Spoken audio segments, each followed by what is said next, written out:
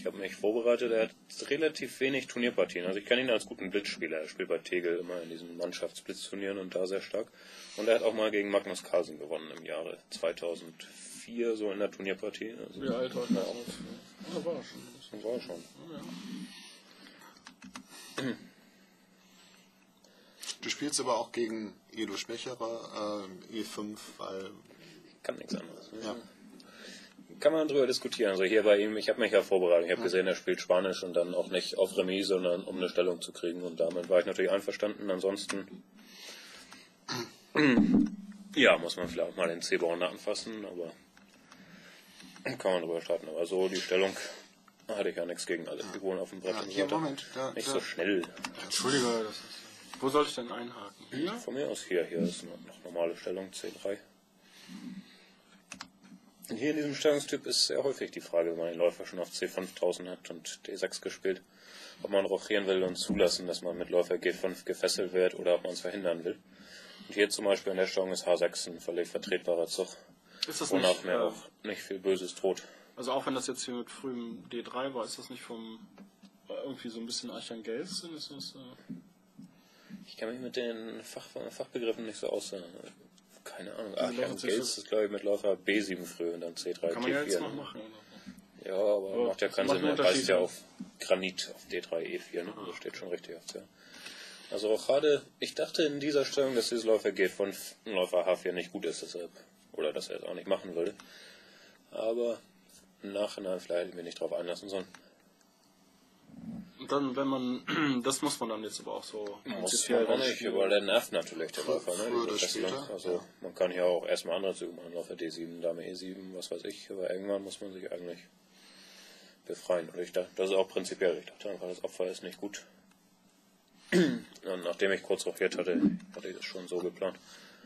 Andererseits, Weil wenn, wenn, ja, wenn der Läufer zurückgeht, hat, hat Weiße wirklich überhaupt nichts. Ne? Ne, der Läufer steht eben sehr, sehr schlecht auf G3. Ne? Ja, Er braucht also- ewig, um wieder ins Spiel zu kommen und ich fessel den wahrscheinlich irgendwie mit Läufer G4, das spielt sich sehr angenehm für Schwarz. Und Also, aber Springer G5 hatte ich nicht überrascht dann. Nö, klar, aber ich meine, das sollte ja prinzipiell sein.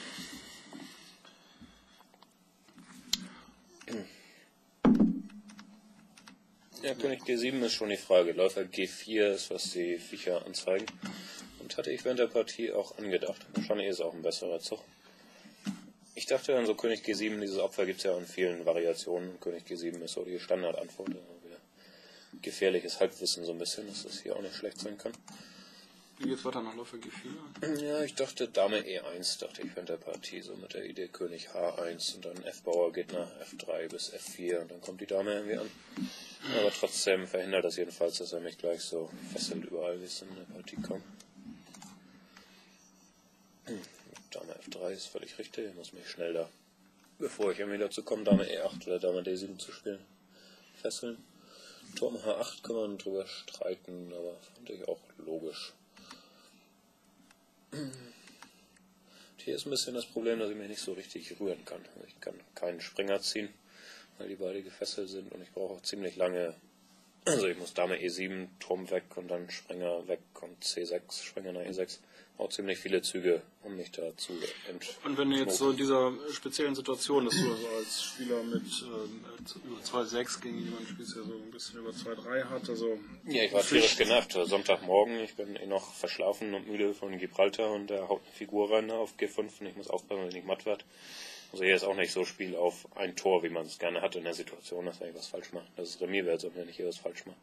Werde ich matt wahrscheinlich. Ne? Insofern war mir die Situation nicht angenehm, aber ich dachte immer noch, dass es eigentlich nicht korrekt sein kann und dass ich nicht so viel falsch gemacht haben kann bisher.